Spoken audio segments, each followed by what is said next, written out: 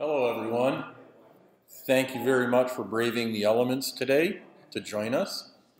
I hope your drive was not as eventful as some of the other people out there on the road, or should I say on the side of the road. Um, I saw quite a few vehicles in the north area where I came from, um, off to the side of the road. Hopefully you were not one of those folks. Um, we're going to get started here now. And again, thank you again for coming to today's Mac Group Detroit meeting. We do appreciate your patronage. Um, today's meeting is going to be on photos. We are going to take sort of a beginner's approach from this. Um, and this is actually going to be part one of a two-part meeting. Um, next month's meeting, Dan DeRiker is graciously agreed to do the stuff that I'm not smart enough for. Um, and we're going to dig even deeper into photos. But today is going to be photos for Mac, which is relevant to on your phone and your iPad as well. Uh, but we will be going specific onto that.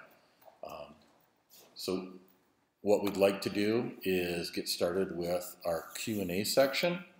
Um, if anyone has any questions that they'd like to ask the group. So what we'd like to do is start off our meeting with our Q&A session.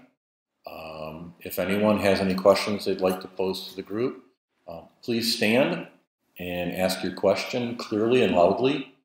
And we will do our level best to answer that question for you if we can. So, is there anyone with any questions today? Yeah, stand up, speak loudly. Okay, Recently bought a plug-in okay, and, uh, through the direction, it said, please make sure that the phone device is in charge.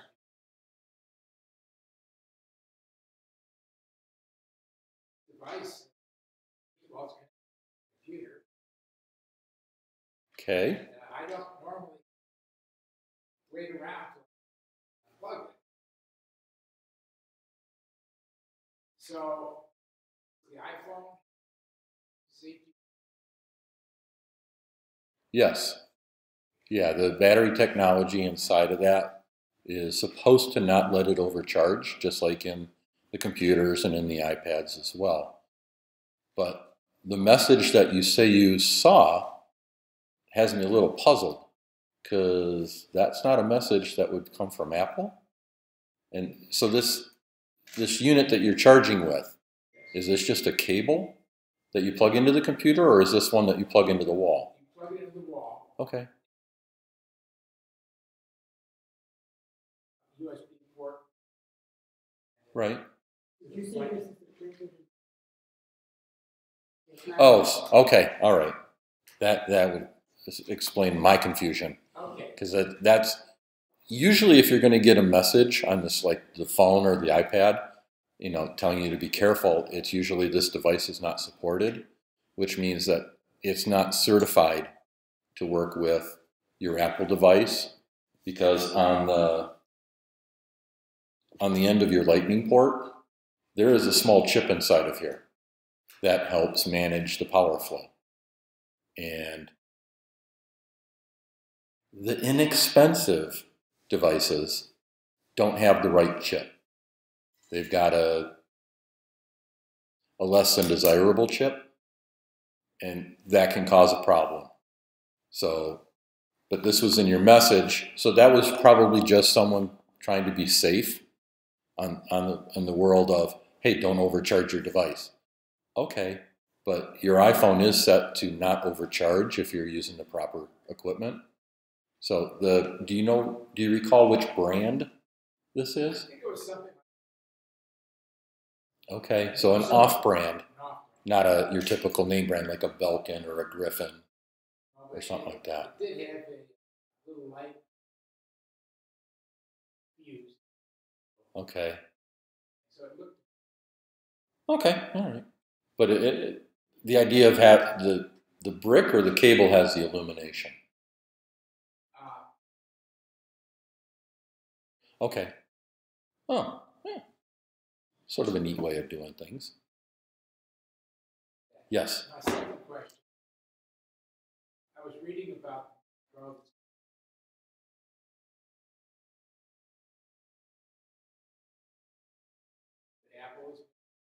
but they're doing away with Intel chips, supposedly. Well, And that's the rumor. That's the room. So I was thinking about working Apple Power. Right. They moved that you had hardware, security, software. Right.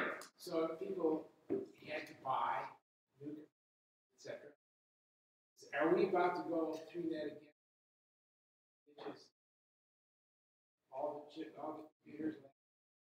Now, I assume that they wouldn't want to say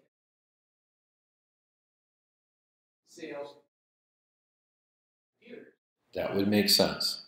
Yeah. They So might, they might just say, starting next month or whatever, we're going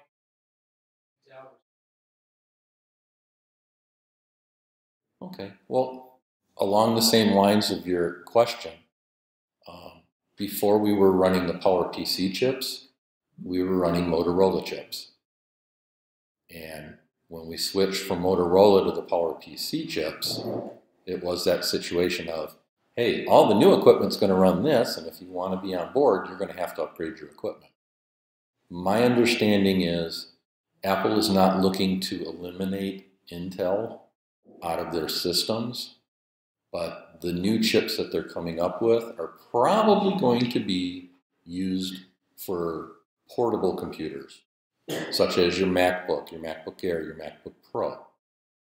Um, the heavy lifting machines will probably still run Intel for a while, just for the processing power. Um, from what I read, the point of Apple developing their own chip, like they have in the iPads and iPhones, um, is so they can control things a little bit better and also try to squeak every last ounce of power out of a battery that they can.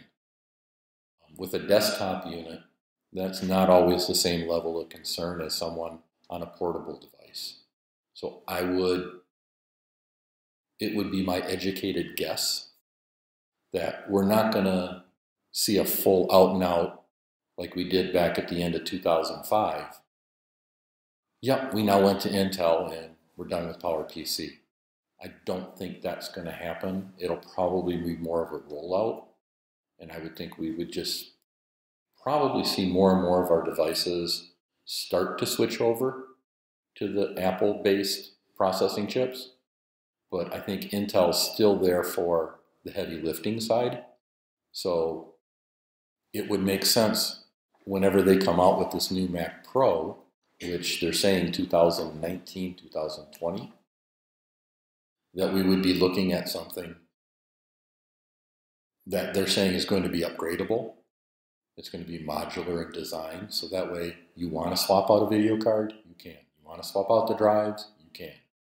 Um, I would think they also probably wouldn't be against being able to upgrade a processor chip inside of that, but they're not really known for that in the first place. So it would be a good idea, but I think they're going after the power users and they're asking them questions. There was an article that said they were interviewing video editors, photographers, music producers, because those are the people that are going to need the oomph that the Mac Pro should be able to offer them when they come out with their new model. The iMac Pro does a good job now, but there are still people that want a lot more power out of their machine than even that puts out. And it might be a real limited market, um, but then again, it might just be a market that's ready to explode too.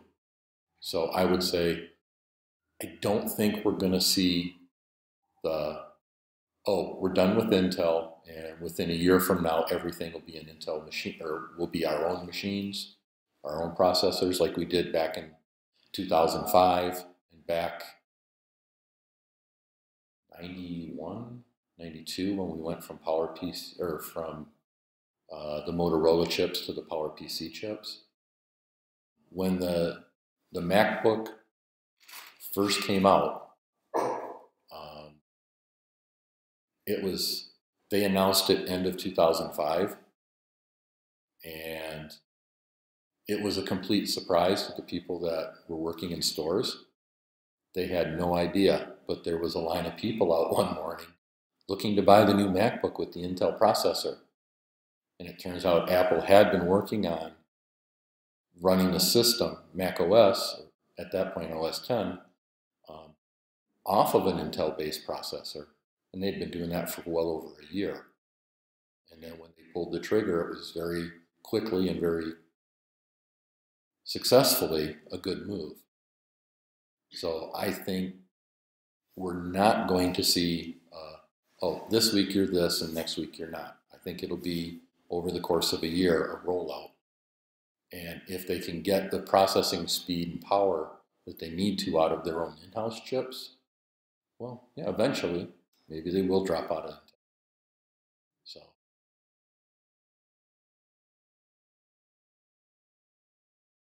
Potentially.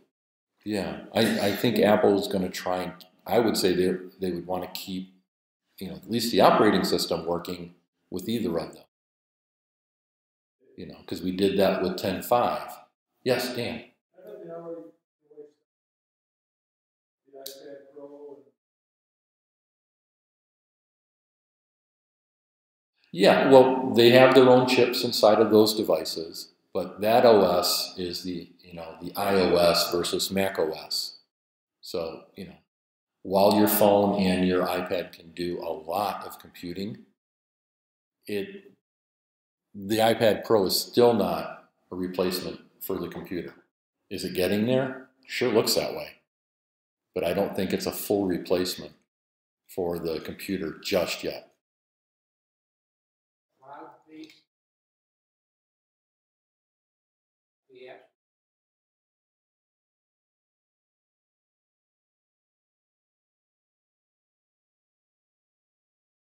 Possibility. I mean, there, some people have said that they're seeing a merging between um, the Mac OS and the iOS, and some people are speculating that the iOS may end up running on a computer, so that way everything really is the same. But I would think there's going to be just certain programs that just, I mean, you're not running Final Cut Pro on an iPad. You're not going to run Premiere Pro on an iPad. Just, you're not. It just doesn't have the horsepower that it needs. But on your computer, that's where you should be in business. So I, if they go that route, I'm sure that they're being cautious because they don't want to alienate their entire user base by taking that jump you know, the MacBook came out and it was three, four months, I think, before they came out with the first iMac that was Intel based. Obviously, they, they were working on it, but it was just a project and, you know, that they were trying to get completed and go from there. But I, it's quite possible that we will see that in the future. Yeah, every, yeah, everything is, you think about where we started and where we currently are, and there's still so much open space in front of us for you know making everything work on a, a better level. Jim? Yeah, an outsider's view on it, uh, having watched Apple for several decades. Um, they, they've gone down the wrong road several times and backed up, restarted and fixed.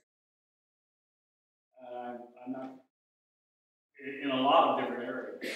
And one of the areas that they've done that in is the current trash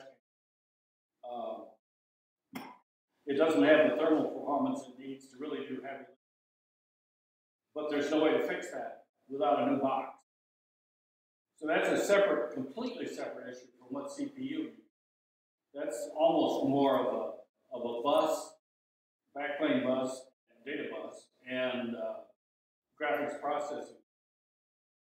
So, um, if, if you think that Apple is going to evolve toward a single CPU again, um, and you want to talk about the Mac Pro, I would think that they'd want a working Mac Pro that would sell better than the current first, and worry about developing their high power ARM chips or whatever in parallel, but not even worry about trying to get it into production because there's too many problems just in getting a new backplane structure and bus. And there's, there's certainly a market for the high performance systems. And most serious graphic designers don't want to have to change their screen just because they upgrade the CPU. And that's not a knock on the iMac.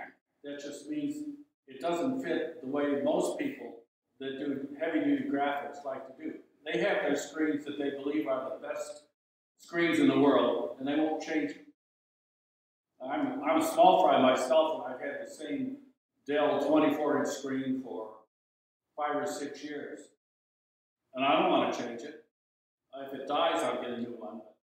I've upgraded the CPU three or four times by swapping in a new CPU box. So I understand that mentality. It's a lot like the difference between buying a phonograph and having a hi-fi system where you can swap in better speakers one year, better amplifier another year. Um, so,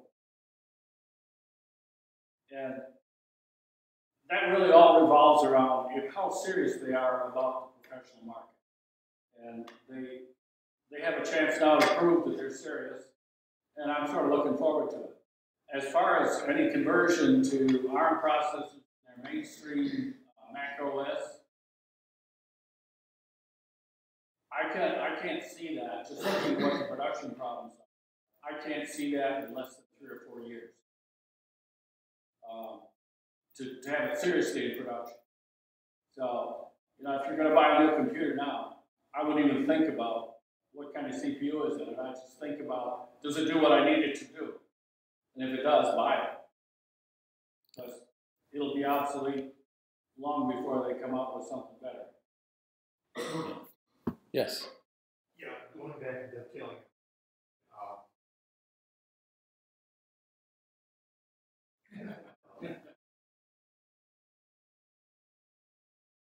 Oh. Yeah. Somebody had told me plugs are, they are cords. Correct. The plug itself is just a plug. Um, because we, I would think Apple would want you to use the right charging cable because I can use a charging cable on a USB hub and if it's a powered hub, I get juice. If it's not a powered hub, I don't. So I think that's probably why the chip is on the lightning end and works from there. Because your your power block should just be a power block. block. Um, I refer to it as a brick, just force a habit. That's my terminology for it, whether it's the five watt or the ten or twelve watt. Um, and the difference between the five and the ten watt is the device you're plugging it into. The five watt will do your phone just fine. It'll do an iPad mini just fine. The 10 watt is what you want to use, or the 12 watt, um, for your iPad or iPad Pro. Now, my iPad Pro, I was quite pleased to find out it does have faster charging built into it, which means I can use a 29 watt power adapter from a MacBook, the, the new 12 inch model, and I can use a USB C to Lightning plug and I can charge my MacBook or my iPad Pro in half the time it would through a traditional USB to Lightning, uh, which is really, really nice when you want to get a lot of juice in there pretty fast. Uh, so, I mean, it only works with the iPad Pros, the 29, 29 watt block. So if you've got a, an older iPad, it won't do anything except tell you you're using the wrong adapter and you'd have to just go dig out your old one. But it is a nice feature to do that. Uh, you cannot use the 61 watt or the 87 watt. So if you have a 13 inch MacBook Pro that uses USB C or the 15 inch, that will not work with hooking up to your iPad Pro at all. So the 29 does the job just fine. Problem is that 29 watt block is $49. It's real expensive. But if you're in a hurry, it might not be a bad idea. So that's where that is. Uh, part two.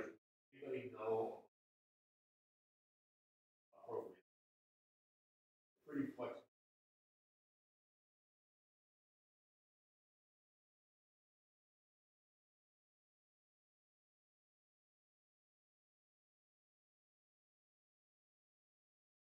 Okay, so you're looking for an inexpensive program that'll let you do financial stuff between your iOS device and your Mac. Okay, so it should be something that should be able to talk back and forth. I would assume a program like that would probably be something that would be cloud based for where your files would be stored due to the fact that you're trying to access it on both sides of it because they would want to reach out and shake hands. So, how comfortable are you with keeping all your data on an inexpensive program that's cloud based? Okay, so it is possible that the $150 one might have a higher level of security because I believe that is cloud based too. So they talk back and forth. I think. I, I think I'm not positive, but doesn't Quicken have it for iOS as well as for Mac? Right. So then they would shake hands. Yeah, probably.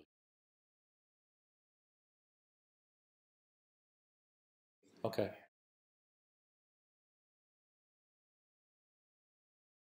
Do they offer a trial program on that? I because I honestly that's not my forte at all.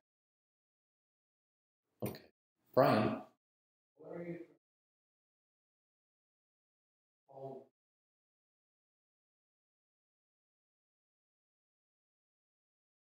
Well, I might be whatever I. Yeah.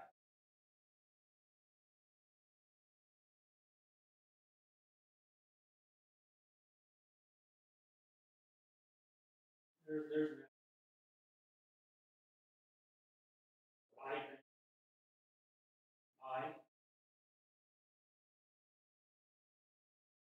Yeah, that Yeah. Category.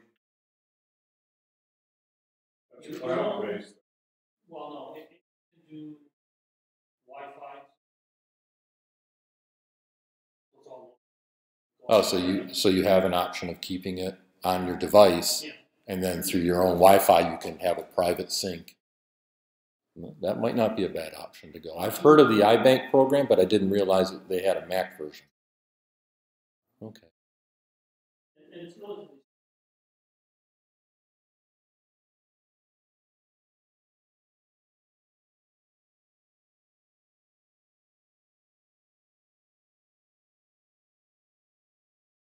Yeah. Okay. So maybe iBank would be something worth at least looking into. Okay. Another uh, question, real quick. Two, two short ones. Thank you. Uh, Okay, first, uh, related to, uh, earlier. I have an older MacBook Pro and the, uh, charger cord had well, defective time. The charger cord, but it has to be, they call it MagSafe one. Okay. It's the before two thousand twelve. Right. Yep. Uh, but in the store, they're very expensive. They're seventy nine dollars. Yeah, that's the, so I asked, you know, cheaper, you would use, No, please don't. Um, what size is your MacBook Pro? fifteen, Okay, so you need an 85 watt MagSafe adapter because it's a 15 inch. You can't use the 60 because that only is for the 13 inch model. So the um. So yes, seventy nine bucks at the Apple Store. That's where you're at. Um, if it if your computer was not vintage, Apple could replace it for you through the Genius Bar for a cost of sixty one dollars. But if it's a 2011 or older machine, that means it is vintage. They did sell a 2012 15 inch MacBook Pro that used the MagSafe 1 for about eight months.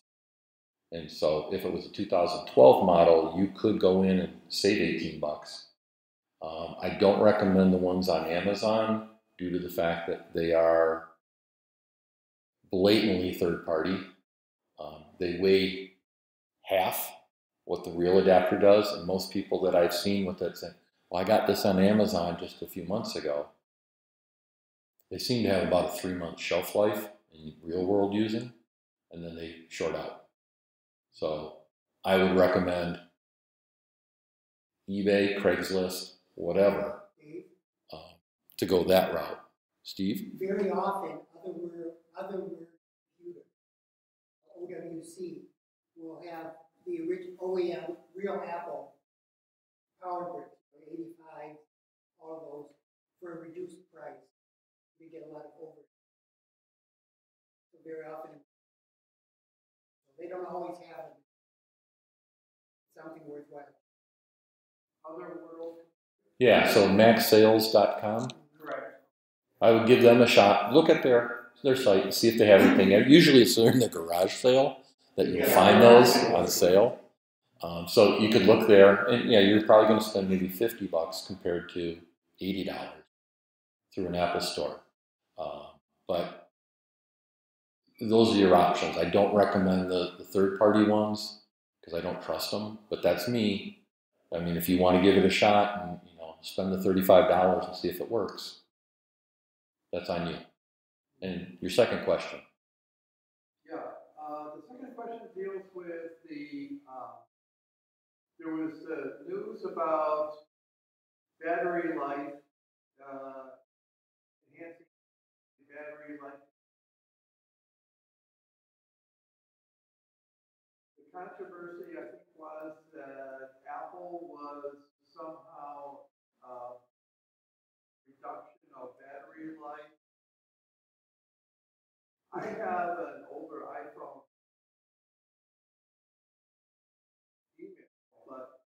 I plug it in, uh, I charge it up full, and I barely, you know, I might barely use it, and it's nearly dead. From, you know, it's okay, rapid. So, does anybody have any Kurt on that? I can give you multiple pieces of advice on this. You have an iPhone 5, you said. Okay. So if you wanted a new battery from Apple, that battery is $79 for an iPhone 5. And that'll get you back because the battery has, is going to be in one of three categories. It's going to be good, means it passed, means the battery is still holding over 80% full charge capacity. It'll be bad because, well, bad is bad. Or it'll be consumed. The life of the batteries um, on an iPhone, Apple says that those batteries should be good for up to 500 cycles while you're in warranty. You should be able to hit 500 cycles no problem. Anything beyond that starts leaning you towards the consume side, which means you just wore it out. That's all.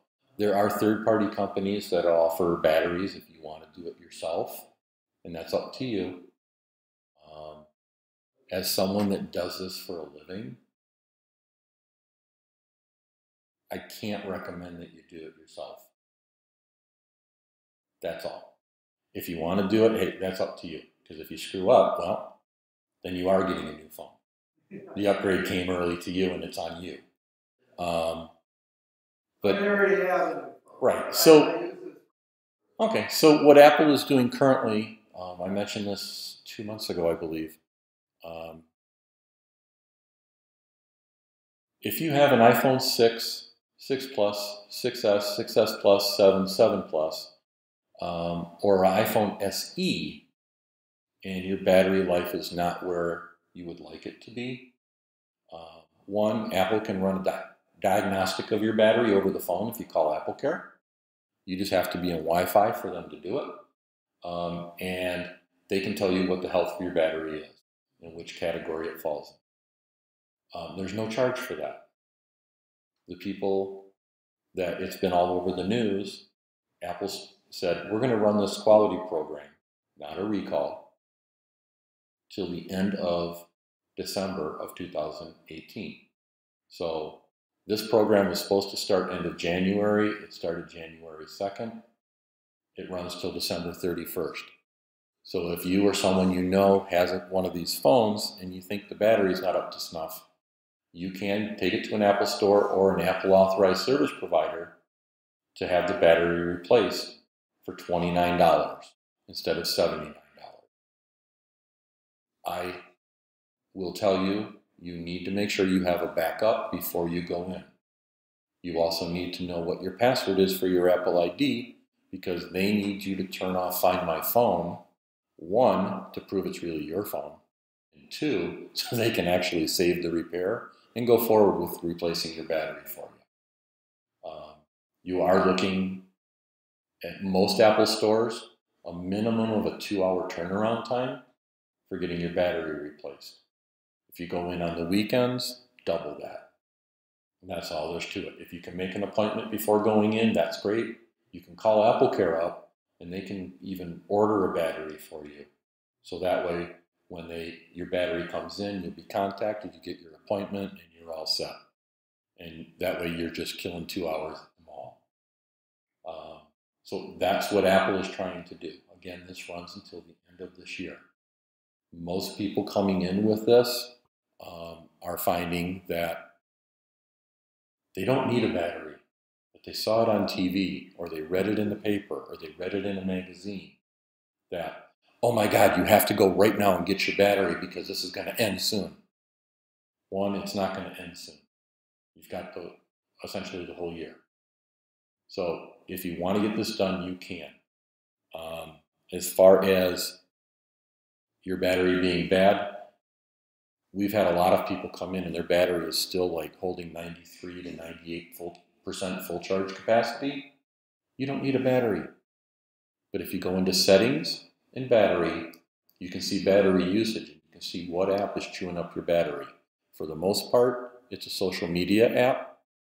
For those people that don't do social media and their battery is draining quick, it's either been Waze, the, the mapping program, or Gas Buddy, which is always running in the background to tell you the deal on your gas. Dan? Okay. Yes.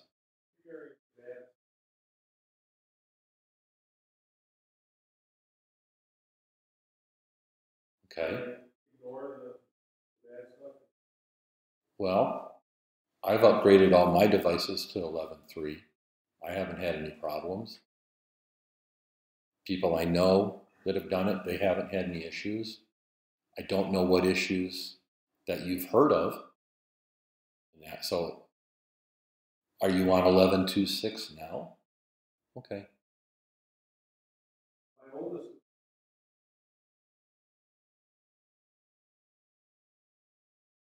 Right. So she's not going to be there.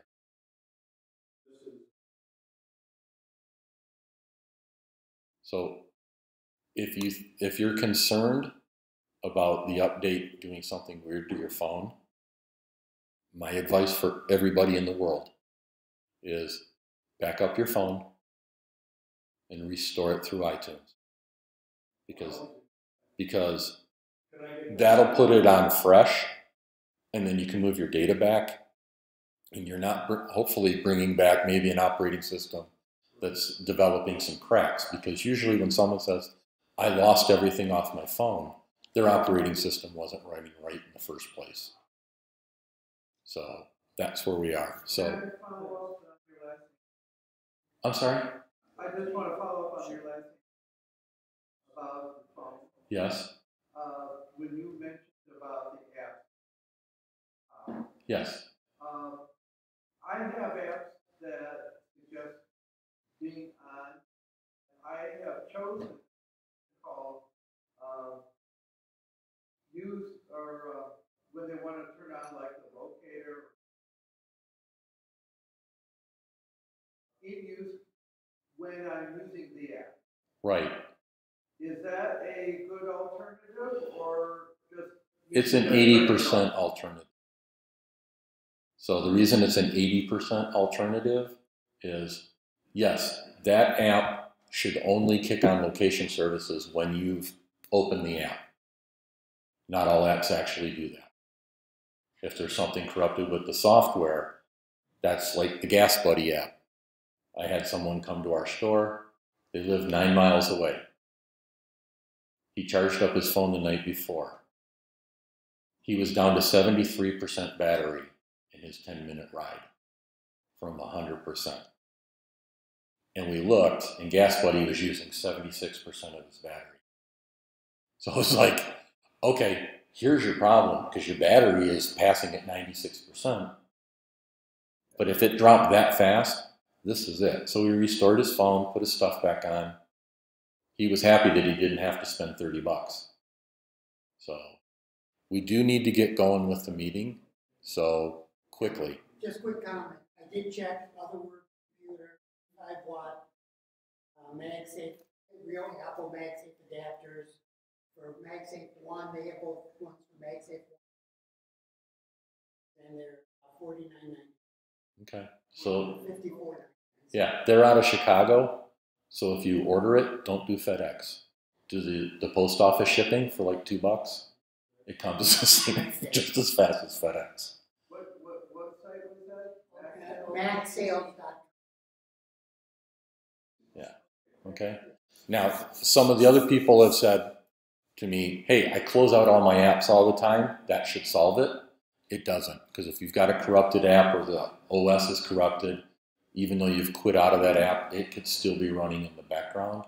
I encourage everybody to go under location services on your phone and turn off everything you don't need to have running um, because that, oh, that'll help a great deal as well. So, last question. Really not a question. just a Sure. Shameless promotion. We'll take a plug. Okay, so not that I want to take anything away from photos, but, uh, on Saturday, May fifth, I'm presenting a three-hour, uh, program on Lightroom. So, anybody, it'll be at ProCam Camera in Livonia. Okay. Flyers in the back. Okay, fantastic. So on May 5th, if you want to learn more about Lightroom, hey, there's a three hour seminar you can hop into. Is there a charge for this? Thirty-five dollars. Okay. At ProCam Camera, correct? All right. So hopefully someone can use that. Okay. We're going to get rolling here because that was a really good question and answer period, but it went a lot longer than we thought. Okay. So today's topic is using photos for Mac. Um, I'm going to touch on features and tips on this. Um, like I said before, I was my thought on doing this presentation was to come at it from a beginner standpoint because there's always something that you can go, oh, I didn't realize. Um, when I hear like training going on in the stores, and there's always something that they bring up that I had no idea. And it doesn't matter how long you've been using the stuff, when the new software comes out, there's always a newer feature that might be a benefit to you. Um, and my understanding is, um, from what I've been told by some of the creative trainers, is there are some aperture-based features that are now being implemented into photos. So um, everyone here knows what iPhoto is, correct? Nodding heads, great. Okay. Um, Aperture was the higher end version of iPhoto. It was designed more for professionals. Lightroom pretty much stomped it in the dirt. So that's where a lot of people went to. Um, photos is on your phone, it is on your iPad. And now it is on your Mac because one, it was confusing people to talk about photos on their iPad, and iPhoto on their computer. Photos has been out since iOS 10.10 Yosemite, and it pretty much has now taken over since iOS 10.11 El Capitan. So, Photos for Mac. Pretty much what I'm going to try and tap on today is getting started with using the program. I've created a new user account on here so we can start from scratch. Um, building your library, creating albums.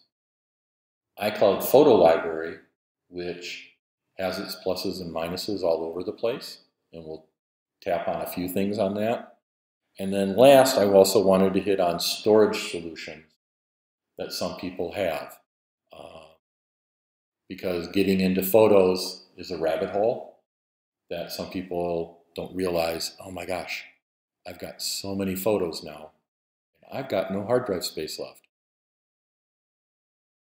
Sort of a good problem, sort of a, an annoying problem. So again, this is going to be on Photos for Mac. So before we get into that part, to use all the benefits of photos, you need to make sure that you have upgraded your machine to the latest version so you can take advantage of the latest version of photos and all the bells and whistles that they have. Uh, if you are still using iPhoto or Aperture, it is going to have you migrate your data into the Photos program depending on how big that library is, this could take a while. Um, most people with, say, a 20 gig iPhoto library, it's probably going to take about 45 minutes to an hour to migrate everything over. If you have a much larger iPhoto or Aperture library, it could take a whole lot longer. Um, you are stuck waiting for it. I tell people when you do this, let it do its thing. Make sure you don't have to go anywhere because if you stop halfway through, you've got to start this all over again. And another thing is to make sure that you've got enough room on your computer to handle this because you're essentially duplicating your iPhoto or Aperture library into the Photos program. So if you have 40 gigs of photos and 30 gigs of hard drive space left, this isn't going to work. And it's not going to tell you that up front. It's going to tell you that towards the end of it. And so make sure that you've got breathing room on the computer. Make sure that you are up to date with everything. And as always, before you do any of this, back up your data just to be safe. If you're not already doing it, please do it for this one because no one likes to lose their pictures because either A, you're going to spend a lot of money trying to get them all back, or B, you're going to spend a lot of money trying to get them all back. It's all there's to it. Things get screwed up, you're spending money either way. Um, so, with getting started, um, when you want to open up photos, and you want to put pictures in there, you have a couple of ways of doing it. You can connect your camera, your iPhone, or a storage device. So, for example, I've got a fairly large flash drive with a bunch of pictures on it that I imported. And when you plug this in, you can import those pictures directly into Photos once you open the program. Um, you can also migrate from iPhoto or Aperture. So again, that's sort of a, a self-serving way of doing things because it, it should just bring everything right over, including your albums. And that way, if you were doing all that work before, you haven't lost it. There are times though when you migrate from iPhoto or Aperture and it finds a file that it doesn't like it thinks the file's corrupted, it won't bring that over and it'll stop and tell you that. And then you've got to start it again to bring the rest of the stuff over. Normally, it will give you a, um, a file name telling you this is where it stopped. So at that point, you can try and dig into your older library and remove that file so it'll go through. Um, a big question I get is where do my files live? So just like iPhoto, in your user account on your computer in the pictures folder, there is a library file. The library file is called called Photos Library. Pretty straightforward, just like iPhoto is iPhoto Library, or Aperture was Aperture Library. That's where your pictures live. Apple, in their wisdom, has locked that up to prevent people from going into it and pulling files out to go get prints. Um, I will sometimes refer to it as we grandma proofed it because a lot of times people will say, I want to go to Walgreens and get some prints made. So they dig into their iPhoto library, they find their picture, and they drag it over. Well, if you're in iPhoto and you you find the picture and you drag it over, all you're getting is your thumbnail. So you're getting a low res picture. Well, then suddenly, in a moment of brilliance, they go, Well, let me dig into the iPhoto library and drag the picture out of there because that's where the original is. But they drag it out of there, they don't copy it, they move it. And so later on, when they go back into the computer and they double click on the photo, they get that exclamation mark, meaning it can't find the original file anymore. When that happens, everything just goes downhill.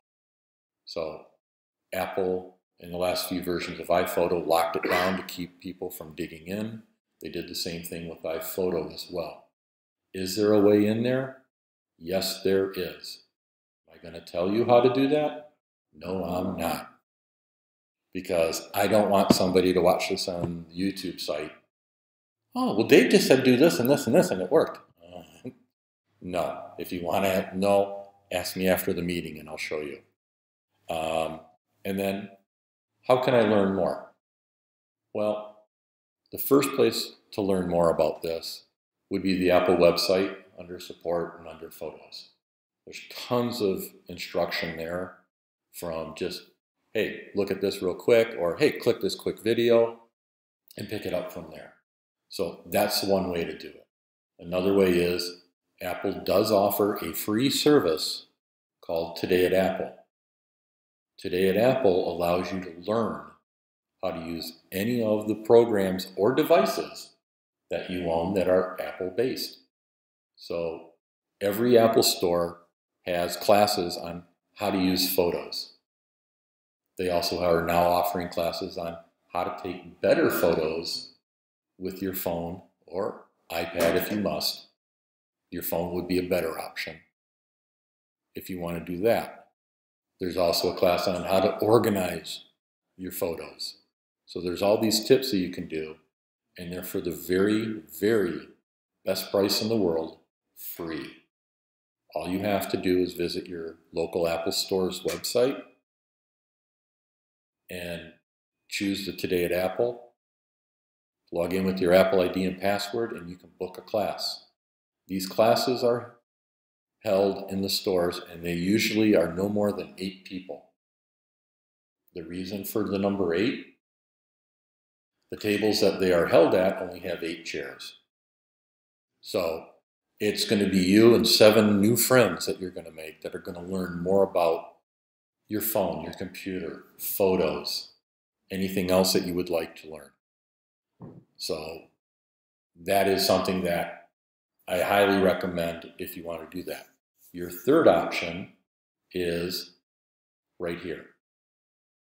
We have so many people in this group that know this so much better than I do. We've got all these resources. You can put it on our IBBS board. You can come to a meeting. Someone is always going to be able to answer a question or at least help you dig to find the right answer. So that's where that part is there. Quickly. Yeah. The older stuff.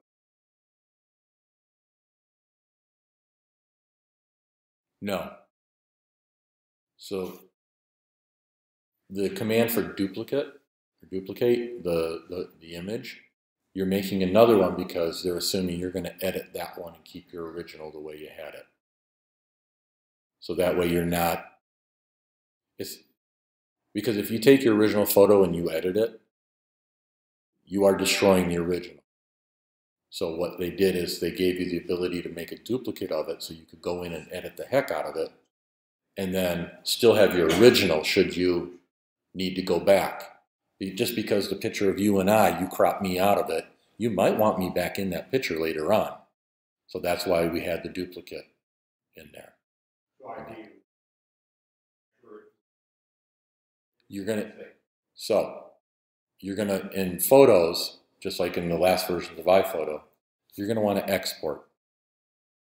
Export gets you the original file or your modified file, but the original full-blown version of it, rather than just a thumbnail version. So that way you get higher quality.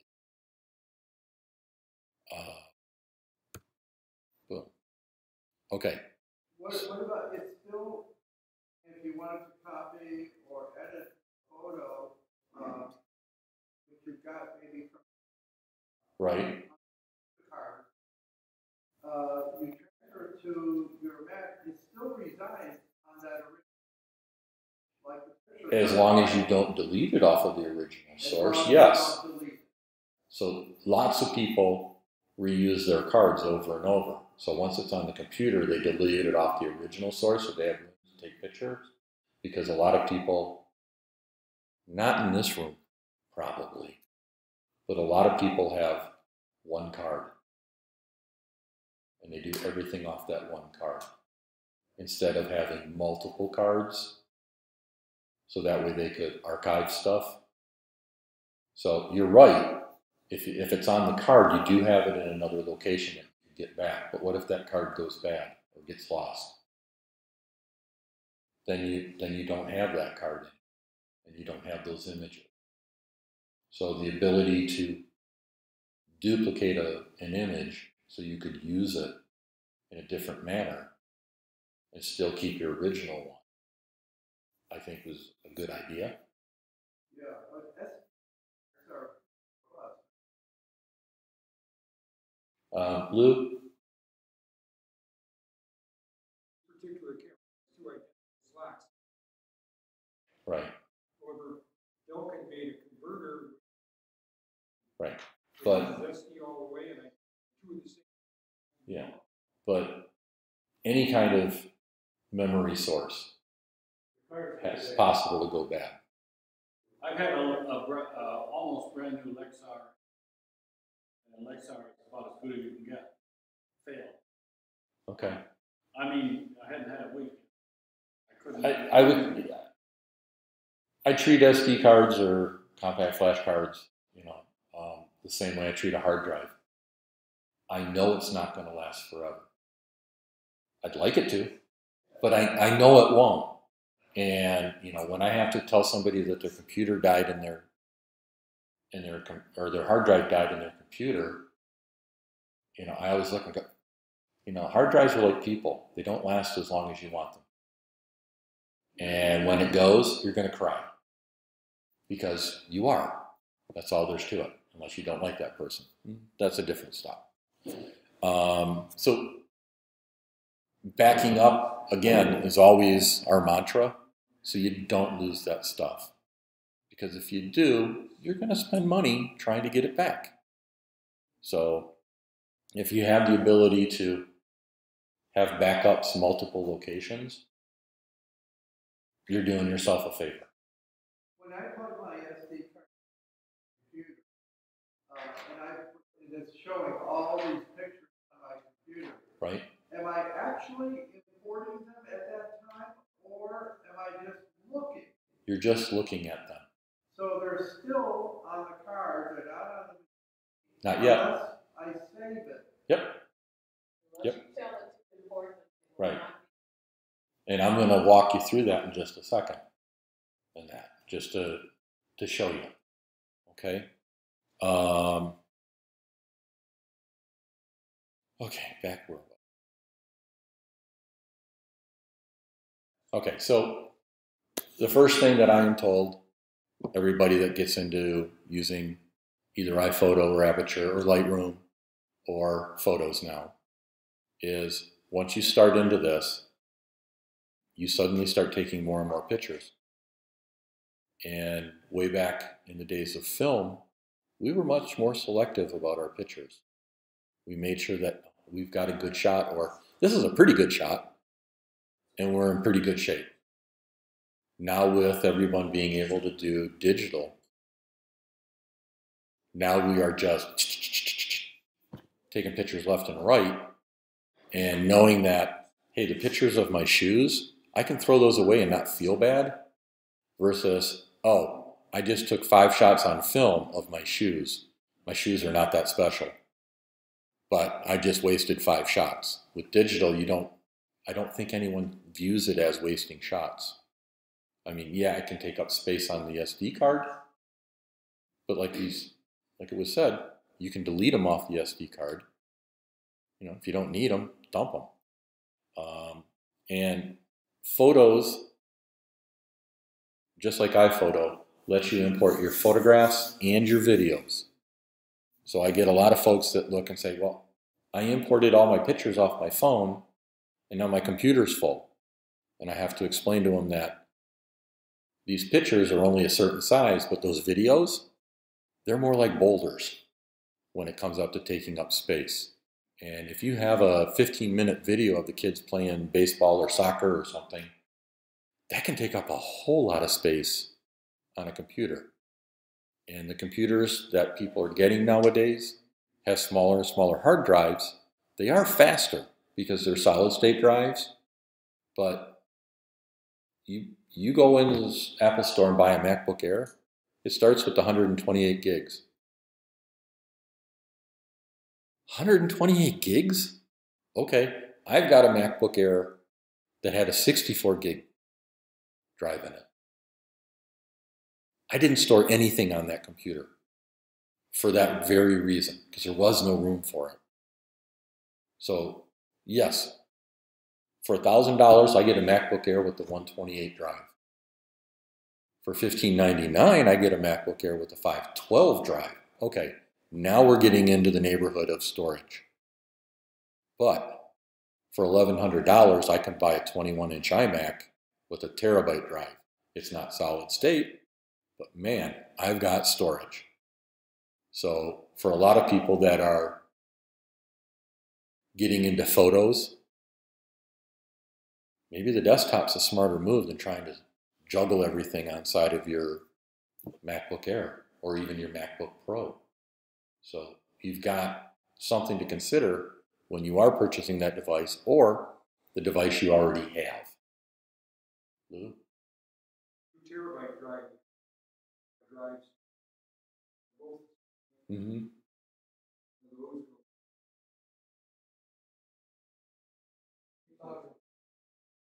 Right, yeah. So, but that's for external storage. Yeah, okay. So we'll get to that a little bit later. Um, all right. Um, there are a ton of editing tools inside of Photos. And again, when you want to export a photo, that's what you want to choose, whether you're emailing it, whether you're sending it through messages, or if you're moving it to a drive to take to Walgreens to get your prints made. So those are really good options there. Uh, this is, I was looking for a picture of a big stack of photo albums that I think everyone has in their house someplace. Um, I know that my wife has our wedding album in the closet. Used to be on the coffee table for years and years, and now it lives in the closet. And her goal one day is to scan all the pictures to have digital copies of them. So that way, if the house burns down, it won't be the end of the world. But I'm sure everyone here has probably seen this at their own home or at least a relative's house where people are collecting all this. So, what I want to do real fast, second here.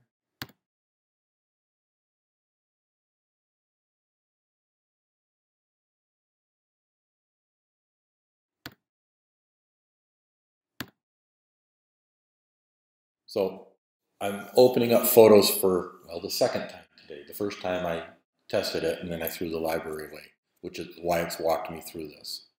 So right here in the center of the screen, says take a quick tour of photos. If you haven't used it or you've upgraded and now it's there, I encourage you to go through that and see some of the things that you can do. You're probably going to look and go, yeah, I did that before. I did that before. Oh, okay. Well, that's new. Oh, yeah, I did that before. So even if you get one out of 10 things that's something new to you, hopefully it'll be a benefit to you. So I'm going to click Get Started. And what this does, this brings up your library along the left side, which lets you view it in different manners. Um, I always have to convince people that when you've created an album, an album is just a link to the photos library. So if you delete a picture out of an album, you're not taking it off the computer, you're only taking it out of the album. But if you delete the picture out of the photo library, you are taking it off the computer and out of your album at the same time.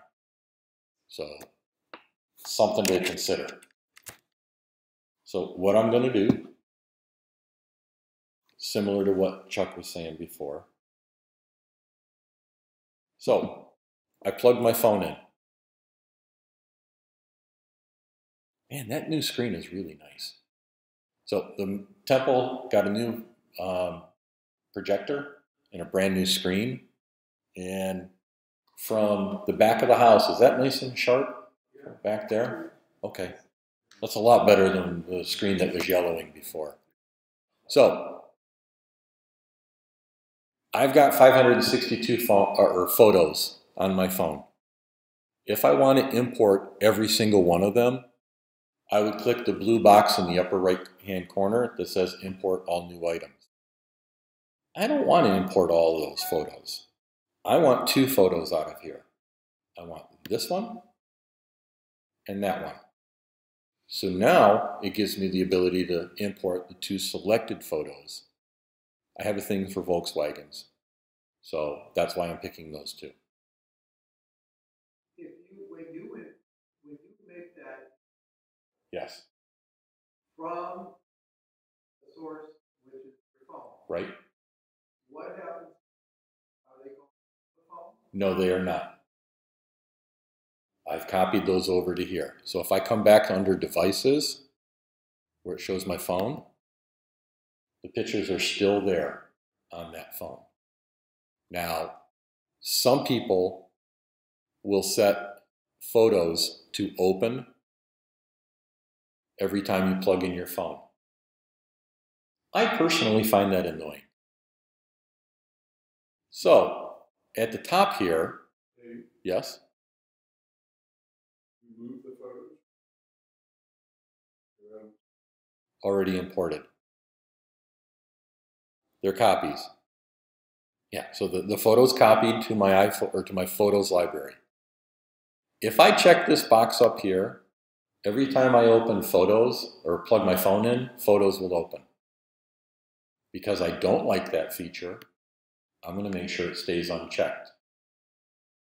And that way, if I want to import something, I'm going to have to manually open photos, which to me is not a big deal.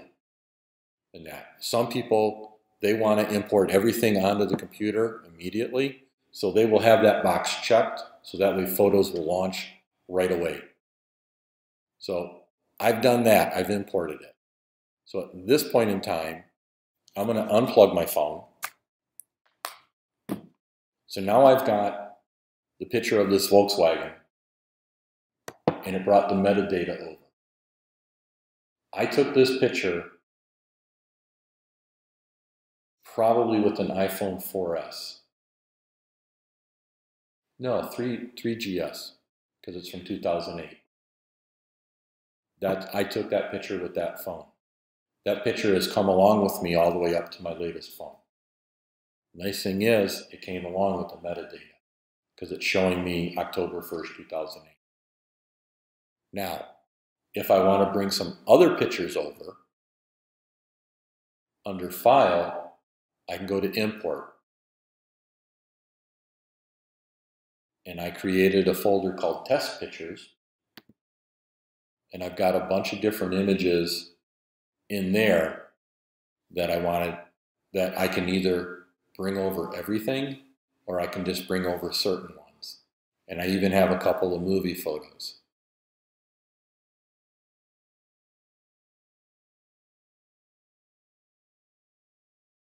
So,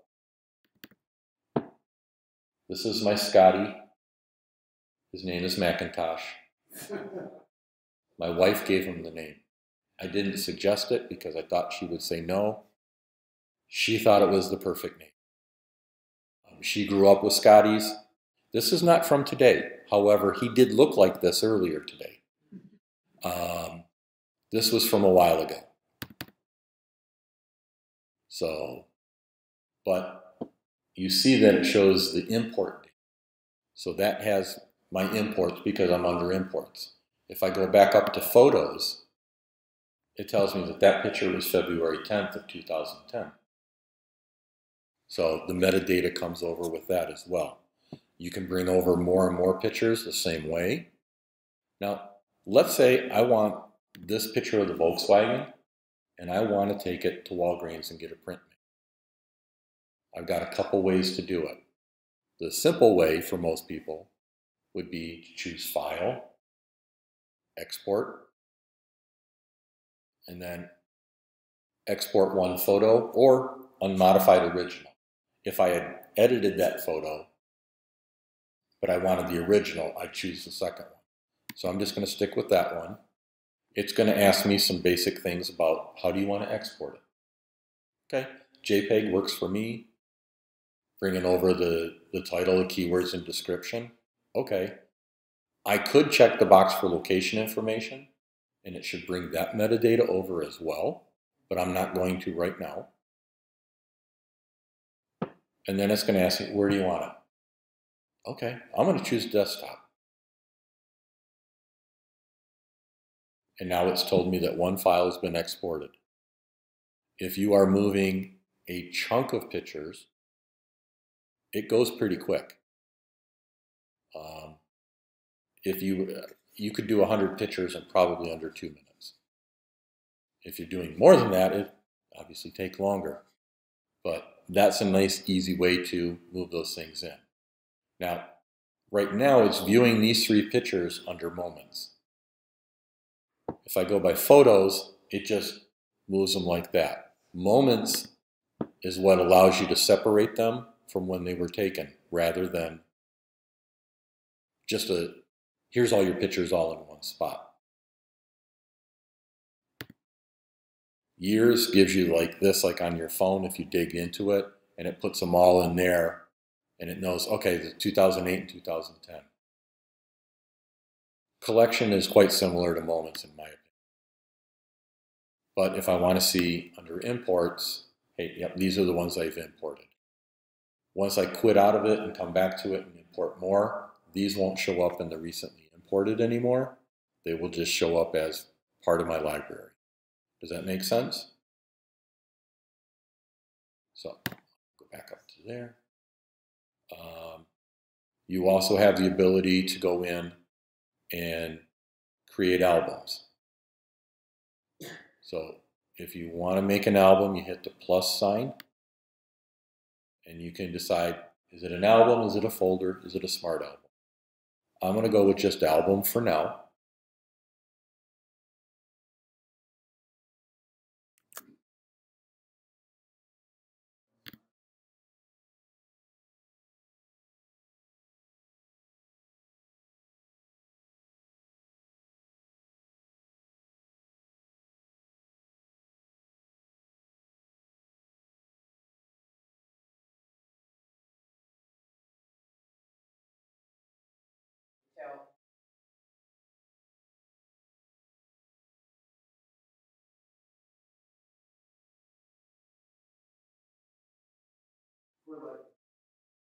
For now and now.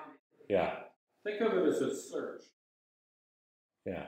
So if I have an album, if I have a smart album named VW, and I have a bunch of car pictures, and then I I assign a keyword to those pictures, and let's say one of the pictures says Corvette, it won't move that into the VW album because, as Sheeta explained, it is looking for that keyword that is tied to it, and you can add a number of keywords to put it make it a smart album.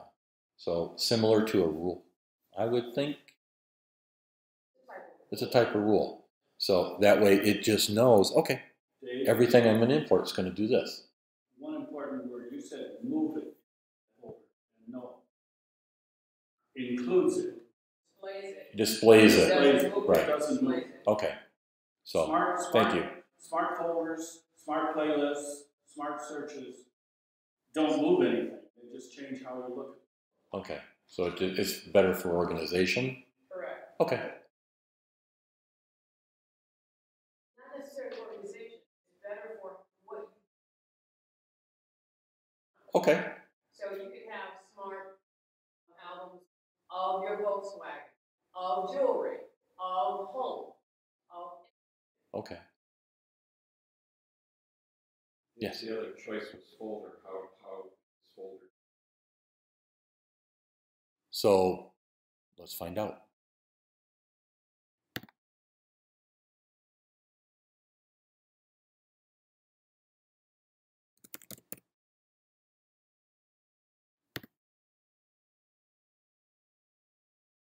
So I think a folder, I could take my albums and put it oh. inside the folder. Yeah. So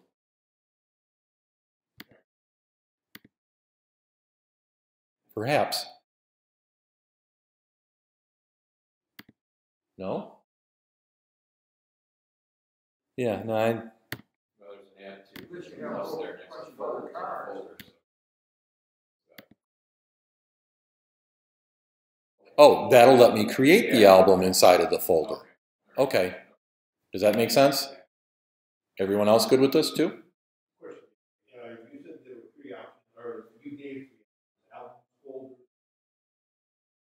Smart albums. Yeah. So.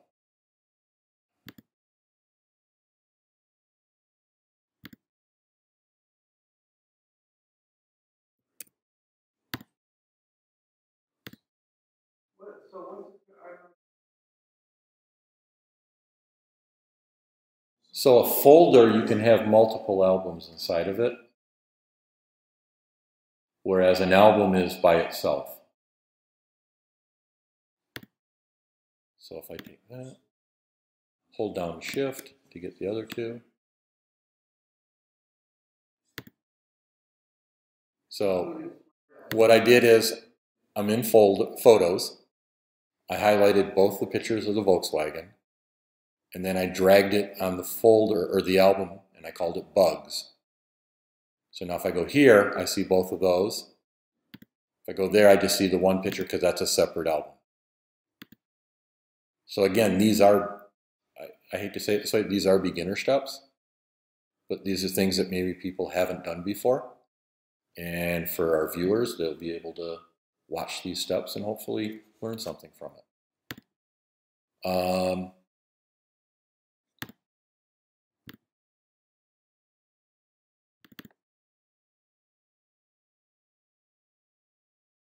So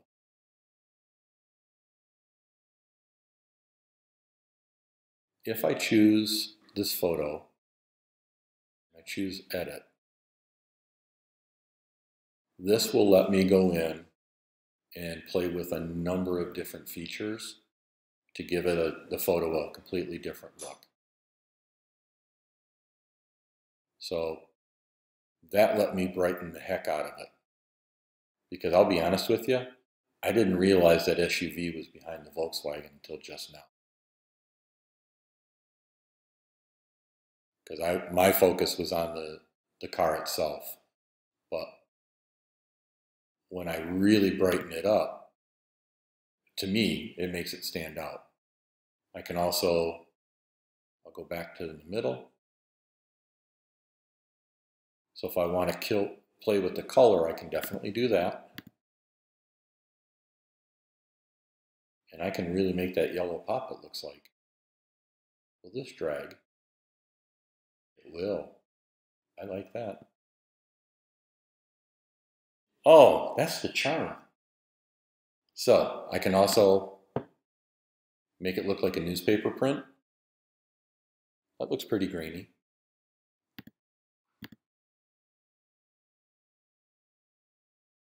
So I can slide that to go for whatever effect I'm going for. But if I uncheck that, that takes away the black and white, puts me back in the color. So you, do you see the blue check boxes along the right side of those three sliders? So if I do that, I'm back into black and white. But I don't want black and white, I'll stick with this.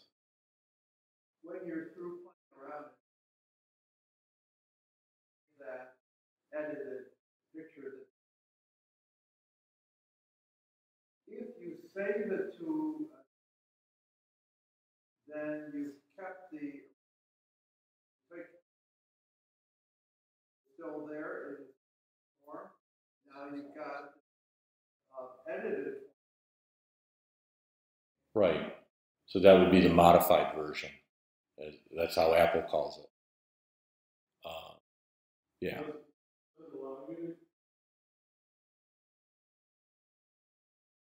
Um, Originally, it was like, um, I would think so because I do have the option to revert to original in the upper left corner. What, what I think it, because I only, Okay. what, what I think it does is that's, because otherwise it original, Correct. you make a duplicate, and it adds on the, the water. Okay. So because on your picture card, it had a long number. Nothing. Then when it was called something, blah, blah, blah, blah, blah, blah, blah, uh, then.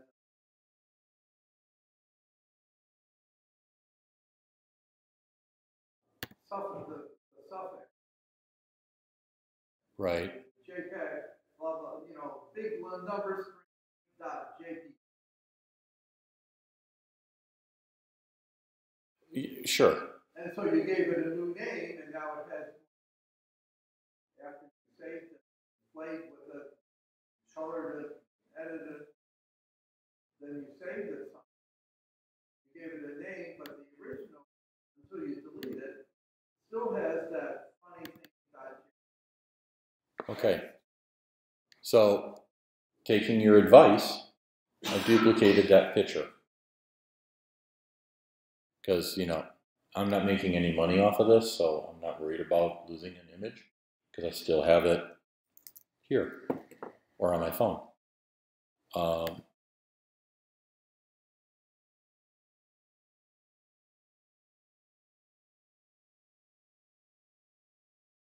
so that's the original here. And that's the one with just a slight modification to it. I could go crazy and modify even more. So, uh, crop.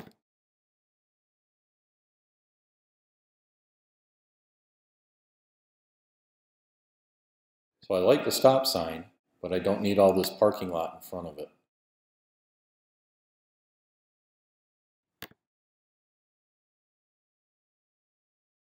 That really makes the rust pop out even more.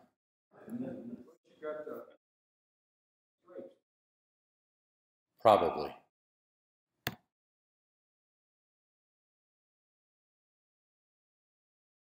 I don't think it'll fit. Besides, this one has a sunroof. Sort of caught my eye. Okay, so these are just, these really are baby steps on using the program. There's so much more that you'll be able to do. Yes.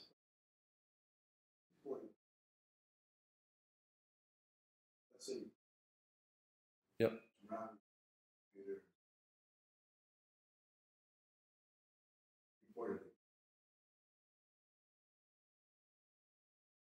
It should ask you, this is already here. It should, do you want to, do you want to import this again? Yeah. So, I mean, sometimes it will give you a duplicate copy, but it should, depending on what you're importing it from. I think that's probably the biggest issue.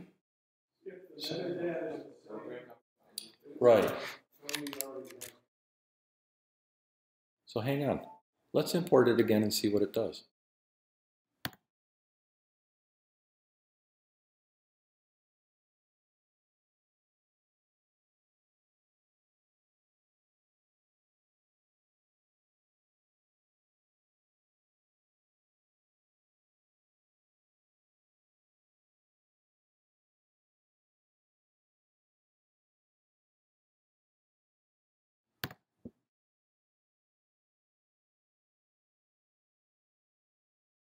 Nope. It didn't. So it, it did import it again. So now you have it on there twice. And now you would have to, you know, if you've got multiples, you'd have to clean it up and go that route. Okay. Because I know some things will, hey, you've already imported this. Do you want to replace it? So apparently this is not doing that. Okay. Right. Okay, so let me hop back to this. So in creating albums, we created an album, we created a folder, we put an album in the folder, and we added pictures to it. So that walked us through a couple of steps there. Organizing your pictures, okay, you can, once you have them in an album, you can move them around and place them where you would like them maybe they're out of timeline, but they might flow better for what you're the album that you're putting together, especially if you're looking to put it together as a slideshow. Modifying an album, pretty much, you've opened up an album and you've decided that your crazy great aunt doesn't need to be in that family picture anymore. So you're gonna remove her from the album. Okay. If you remove her just from the album, You'll still have her pictures and photos. She just won't be in the album anymore. So you'll still have them should you need to put her back in, maybe to get in her will. But then again, maybe not. The biggest question I get from most people is what do I do with all these pictures? My first statement is always back them up. Just in case. Just back them up so that way you've got them safe. The next thing is, well, you're sitting on an airplane instead of watching a movie. Why don't you organize them, make some albums while you're doing that or in the car? Because you don't need an internet connection to make that happen. So these are options for you. Um, but organization is probably the one thing most people don't want to do because I know growing up there were shoe boxes under the bed filled with photos that never made it into an album. And it's the same thing here. People have all these pictures on their phone. They offload them onto the computer to make up room on the phone, and they still don't have any. So, what you do with them is your choice. Um, you can either be organized or you can be a digital hoarder. Take your pick. It's all up to you. Um, one of the really neat features that's out there depending on how you trust the cloud, is iCloud Photo Library. That allows you to sync all your pictures to iCloud from all your devices. So let's say you've got 10 gigs of photos on your phone. You've got 5 gigs on your iPad. And you've got 100 gigs on your computer. Well, you can't have all those pictures if you have a 32 gig phone or a 64 gig iPad. But with iCloud Photo Library, it will give you the ability to view all of those pictures from any of those devices anytime you've got an internet. So, that is a quick description of what iCloud Photo Library can do for you. The drawback is the generous amount of five gigs of space Apple gives you for iCloud backup, you will burn through that in no time at all. But you can purchase additional space. So if you want to be that person that carries all your pictures around, you can be selective and you can use the 50 gig plan, which is only a dollar a month. So for 12 bucks a year, if you've got less than 50 gigs of photos, man, you've got everything at your fingertips anytime you want. If you need the 200 gig plan, that's 299 a month. Okay, so 36 bucks a month. Eh, okay. If you are a spendthrift and burning through money like nobody's business, please adopt me. But after that, you can get a two terabyte plan for iCloud, which used to be the one terabyte plan for $9.99 a month. So that's 10 bucks a month, 120 bucks a year, but that's two terabytes of space. So if you are somebody that needs to have access to every single picture that you have, that might be a good way to go for you. Another feature of going that route is if you are doing family sharing, you can now share your iCloud space with other people in that family sharing. So I have the 200 gig plan and I gave my wife 10 extra gigs. I gave my daughter 30 extra gigs because she likes to take pictures. And I can give either of my sons space too if they want it. They both have said no don't want to do it. But I still have more than enough room for whatever I want to do. So that is something that family sharing can offer if there's you're in a family situation and you want to share that space instead of my wife spending a buck, me spending a buck, and my daughter spending a buck. Well, I'm still spending three dollars, but now I've got 200 gigs instead of 150. It's not a bad way to go. And as the person that's organizing it, I can decide who gets how much space. And that works out really, really well.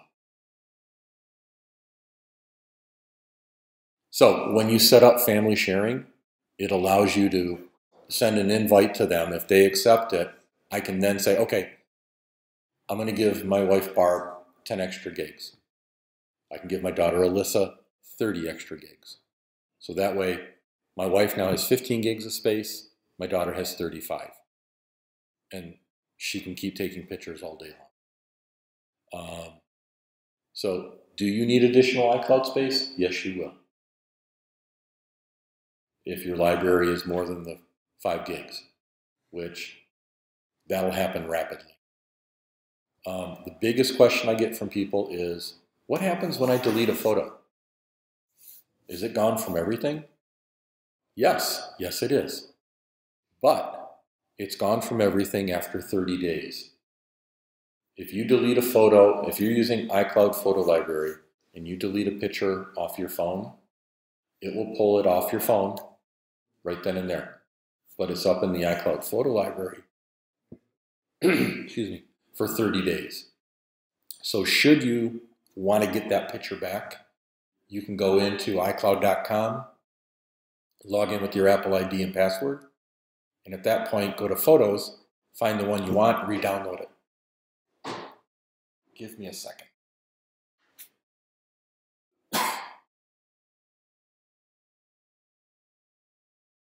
That's better. And then the last question is, are my photos safe? Apple goes to great lengths to make sure your privacy is respected.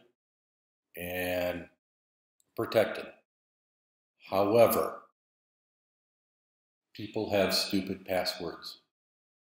If you are a person with a stupid password, your photos are only as safe as your password is smart. Um, so the harder to guess password means that you've got more security.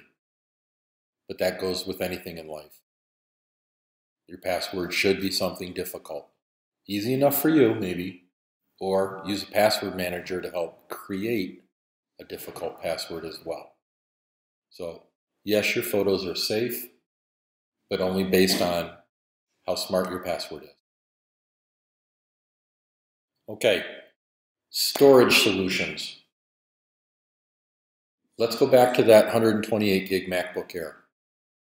And you have an 85 gig iPhoto or Photos library. And you have 200 megs of free space left. Computer's running slow because of it. How do you get them off? Okay, you've got a couple of options. Um, on older computers, it's easy to upgrade the hard drive. On the new computers, it's not so easy because it's no longer a two and a half inch box on your laptop. Now, because of the SSD, it's a, as they say, a blade drive. It's a board that plugs into the logic board, and that's it. It's super skinny, but to replace them, it's very expensive. Um, the 64 gig MacBook Air that I, excuse me, talked about, I replaced it with a 256 gig drive and had a lot of room on it, and I was very happy with that. But that 256 flash drive from macsales.com, OWC, sells for over $300. So it's if you have a solid state drive in your computer, it is expensive to upgrade. It might be price prohibitive for most people. That's where an external solution kicks in. External solutions, a lot of people will come in with the hard drive and move their, or their photo library to the external drive. And to get it to show up on your computer when you open photos, if you hold option when you click on photos, it'll give you a submenu and ask you, what library do you want to use? And you can then point it to the external library and it'll work from there. That's a nice, easy way to do it. The drawback is if someone opens photos on your computer without that hard drive plugged in, it creates a new photos library on your computer with none of your data, which can be confusing to a lot of people. So you may want to consider that. Um, so if you've got a lot of them and it's on a portable, you just need to keep in mind the drive has to be plugged in before anybody opens photos, whether on purpose or by accident. Brian. Well, there's that too. Yeah, not letting someone else use your computer is always a good option. Um, and then last but not least, deleting unwanted items. Now, when you delete photos off your phone or your iPad, they get moved into a recently deleted folder. From that folder, you can go in and say delete all, and then they are completely flushed off the device. Lots of people say, but I deleted 300 photos last night and I still don't have any space. And when I show them the recently deleted, I'm like, well, there's your 300 pictures, and here's your other 600 pictures that you were deleting before that, oh, they're on day 28 of 30 days. So they're going to disappear soon, but not soon enough. So you can flush them out that way. You can also do the same thing on the computer. If you delete them off of your photos library, they're gone. With them being gone, you've now freed up the room. But again, back them up first before you do that. And then delete them. Okay, next month, our topic, Dan Riker is going to do so much more than I was able to do today. He's going to show us some stuff in photos, but in particular, he's going to show you what you do with your photos once you've created something with it. And he is going to show us how to order a book from the um, Apple, and these books are really, really good looking. You can also order calendars through there. You used to be able to order greeting cards, but I'm not sure if that's still a function, or maybe it's the postcards they took away. But we will learn more about that next month. So please come back next month and bring someone with you.